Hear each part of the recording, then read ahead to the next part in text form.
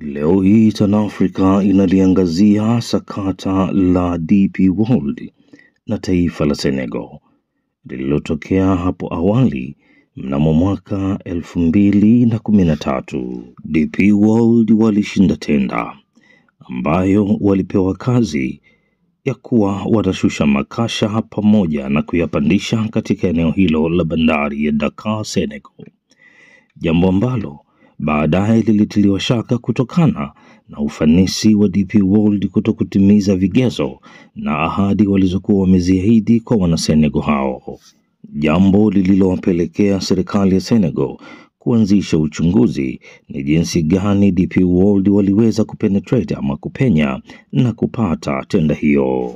Wakati hayo yakiendelea, majibu yakapatikana kuwa ni mtoto wa aliyewahi kuwa rais wa nchi ya Senegal mwenye ushirika wa karibu na DP World na ndiye aliyesababisha DP World kuingia katika taifa la Senegal.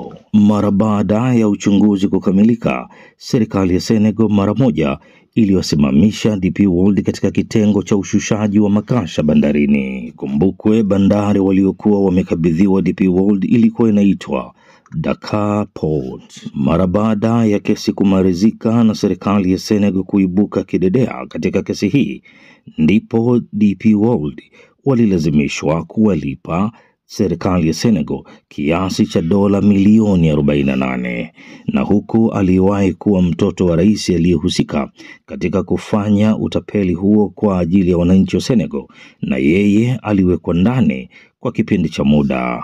Mara baada ya mambo hayo kutokea, DP World waliridhia kulipa kiasi hicho, lakini baada ya hapo walirudi tena upya mezani na kukaa na serikali kukubali kubadilisha yale yaliyotakiwa kubadilishwa, na sasa DP World na Senegal walianza kufanya kazi tena pamoja mnamo mwaka elfu mbili na ishirini na mbili. Na ukitaka kuipata habari hii, tafadhali ingia kwenye mtandao huu unaonekana pichani, ili na wewe uweze kujisomea na kujiridhisha. Ufuatao sasa ni uchambuzi mfupi kati ya kile kinachoendelea nchini Tanzania na bara la Afrika na DP World. Eneo la kwanza tuliangalia kwa nini DP World inahusishwa sana na viongozi ama watoto wa viongozi wakubwa pale ambapo wanapohitaji kufanya ama kupeleka jambo lao katika eneo fulani, hasa katika mataifa ya Afrika. Watanzania mtakuwa ni mashahidi wa haki pale ambapo mmeweza kushuhudia wenyewe kwa macho yenu na masikio yenu. Baadhi ya majina ya vi, watoto wa vigogo wakizungumzwa wakitajwa katika ushirika na hili swala la uwepo wa DP World, na nadhani Watanzania mmesikia Kubenea ameshapelekwa mahakamani kwa kuhusisha baadhi ya vigogo eh, kwenye sakata hili la DP World, sio? Lakini kubwa tunalotaka kufahamu ni kwa nini hatujifunzi, kwa nini hatujafanya hatujafanya upembuzi yakinifu kuifahamu DP World, jinsi ambavyo inavyofanya kazi, jinsi ambavyo inaweza kutafuta tenda na kupata tenda kwa njia halali na siyo haramu ya kugawa fedha ama kuwagawanya watu kwa migongo ya dini. Nadhani iko haja ya serikali inayoongozwa na Mama Samia Suluhu Hassan kuangalia, aidha kuna watu wanamkwamisha huyu mama ama yeye mama anajikwamisha mwenyewe kwa kuwa na kundi la watu linalompa taarifa potofu, ambapo yeye pia kwa kuwaamini anazichukua kama zilivyo. Na Watanzania ni vyema wakaelewa, tatizo siyo mwekezaji, ila tatizo ni mkataba unaoletwa na mwekezaji ambao na sisi utatugharimu kwa namna moja au nyingine kama raia wa kawaida. Mbona Senegal wameweza wameondoa madudu wakarudi tena wakakaa mezani kwa ajili ya kurekebisha mapungufu yaliyokuwepo.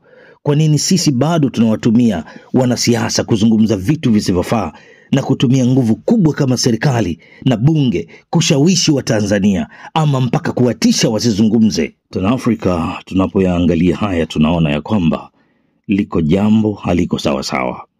Kama kweli kungekuwa na mambo sawasawa kusingekuwa na mzunguko haya mambo yote kutokea. Ushauri wa TanAfrica.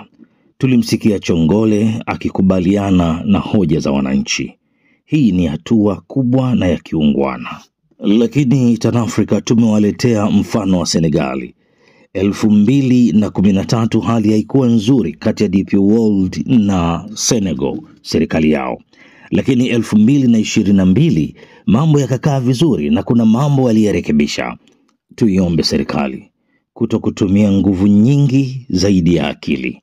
Tunaishauri serikali kutumia akili nyingi katika kupambana na utatuzi wa swala la DP World, na naamini mafanikio yatapatikana. Watanzania wanataka uwekezaji, lakini pili, wanataka uwekezaji wenye, tija. Uh, tatu, wanataka uwekezaji wenye mikataba rafiki na rasilimali zetu. Na kutokea hapa sina la ziada. Mimi ni Simon Mzwanda wa Tan African TV kuwashukuru wafuatiliaji wetu wote. Tumeona jinsi ambavyo mnaandika maoni yenu, nasi tunayapitia, na wale wanaotuandikia kutuongezea elimu pia tunawashukuru sana. Mungu ibariki Afrika, Mungu ibariki Tanzania. Tukutane tena wakati mwingine.